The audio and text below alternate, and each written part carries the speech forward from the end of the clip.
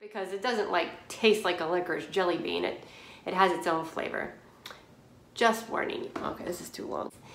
It's a classic Italian salad made with fennel bulb and, oh no, wait, I was gonna.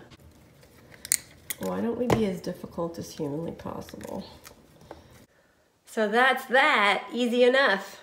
I use a choice, uh, choice, oh my God.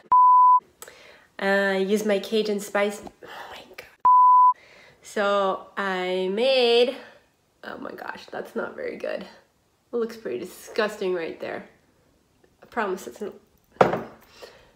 From people who want to learn more how